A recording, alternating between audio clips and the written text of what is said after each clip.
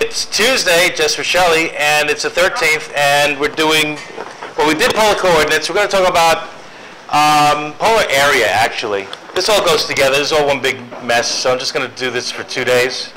I'm going to start with polar area. All right, let's talk about that. Now, way back when, when we defined radians in the first grade, when did you figure out radians for the first time? Uh, 10th 10th grade? All right. Well, you remember stuff like this. Let's see, where am I? Boom. Uh, let's say we had a cycle. Where's my cycle? There it is. Let's make it circular. And I don't know, let's throw in a coordinate system for, I don't know why, just for the hell of it. Okay. And let's say I wanted uh, to talk about uh, angle from zero radians to, I don't know, however many radians that is. I don't know, pi over three, whatever it is, right? And we gave this stuff names. We said, well, if this is r and this is theta, this is s. Do you remember this stuff? Yeah. This, what's the relationship? This is the definition of the radian, by the way. S R equals r theta, right? If theta is measured in radians. In other words, what's one radian? This is the definition of the radian. S is the arc length of the circle, this much of the circle, right? But what's one radian? When is theta going to be 1? When S and R are the same. If theta alone is S divided by R. If S and R are the same, then theta is 1. So if S is like, I don't know, 5 inches and R is 5 inches, this angle is 1 radian. That's how big a radian is. I forget, it's somewhere around 53 degrees or something, if you convert it to degrees. Okay? All right, great. But that's fine. But that's not what I'm talking about today.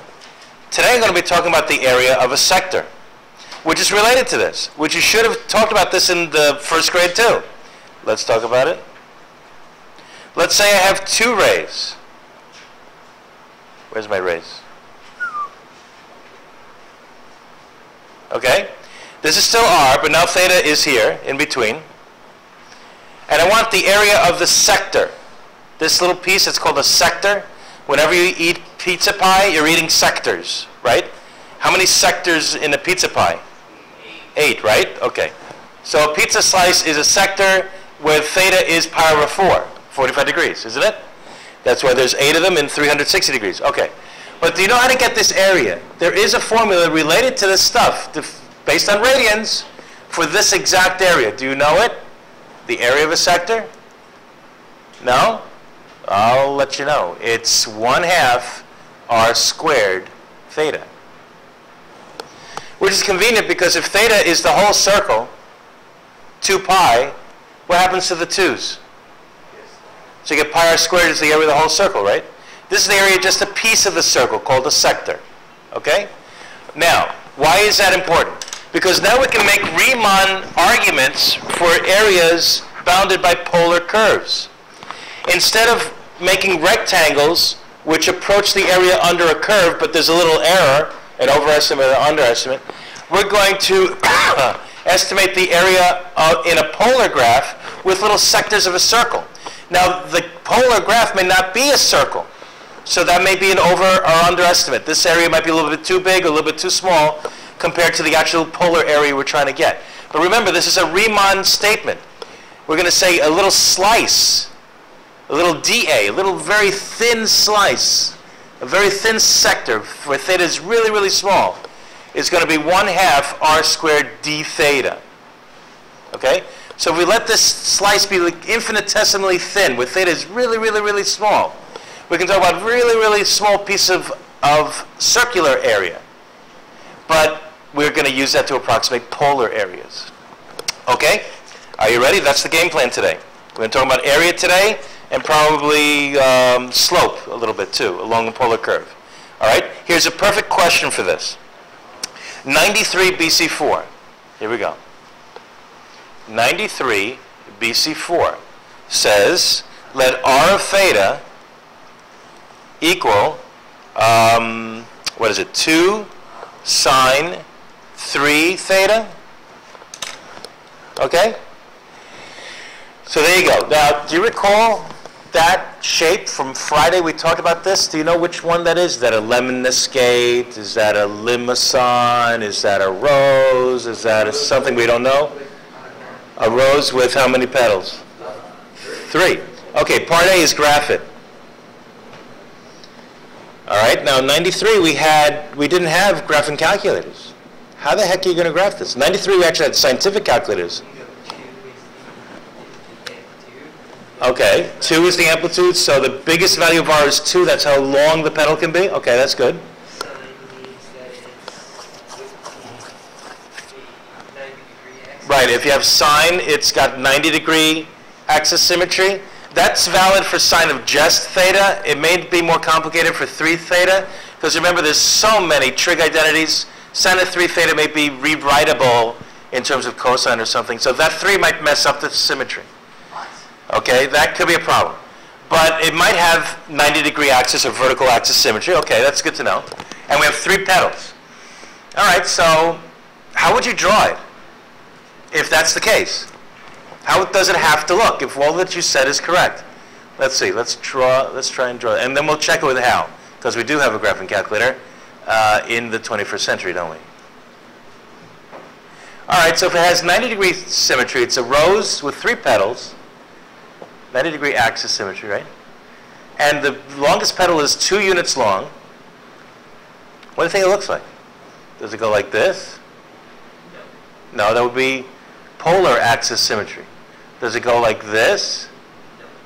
No, that would be pole, ac- pole symmetry with the origin. It would have to go like this, wouldn't it? Let's see, let's draw that. Well, yeah. Wait, I got my my slopes are all messed up. Let's see. Z- I I messed up. What? I flipped what? Well, I can't draw this stupid thing, damn it. Why can't I draw this? Okay, I'm just gonna I'm gonna cheat. Okay, I'm gonna put a petal here. I'm gonna put a petal here. It's all connected, right? I'm gonna put a petal here. Okay, fine. And pretend it's symmetrical. Okay. Look, it's not art class. Okay. Yeah. Okay, it's the Mickey Mouse curve. Okay. Looks like Mickey Mouse with the big ears. Something like that. All right. So the maximum uh, length for R is two units, and it has y-axis symmetry, well, vertical axis symmetry. This is the pole, this is the polar axis, this really isn't here, this really isn't here, this really isn't here, okay? Now, are we right? Well, I don't know, let's check. Let's go over to Hal and graph it in polar mode and see. All right, so apparently I'm not in polar mode. Huh?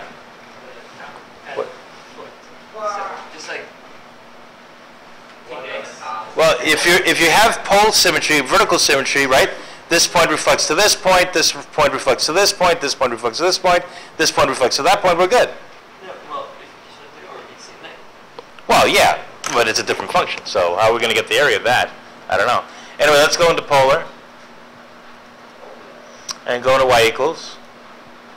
And we're going to clear this and clear this and just put in what they gave you. 2 sine 3 theta. 3 theta. There's theta, remember?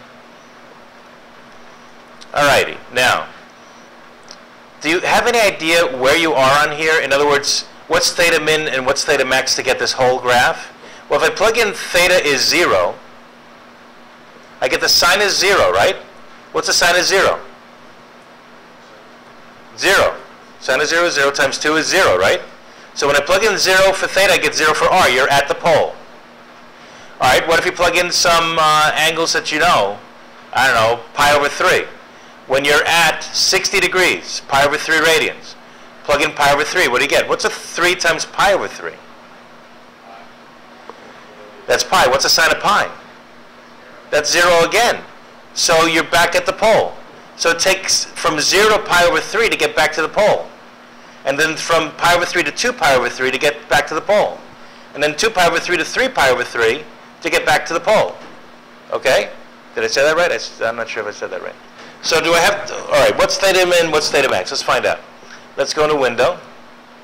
This says from 0 to 2 pi for theta min and theta max, and pi over 24 is a nice trace. Um, that's uh, Zoom 4. Uh, sounds good. Let's try it. Hmm. See, it's still busy. Did you see that? It was still busy after it finished graphing up to here. So 2 pi is too much. Let's see. What if we put on... Can we put the bouncing ball on this thing? Uh, where's, where's style? F6, right? Let's see where it is. Let's put the uh, path animate.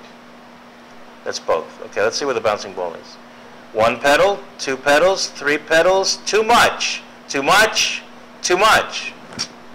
So what if I want the whole thing? I'm not going from 0 to 2 pi.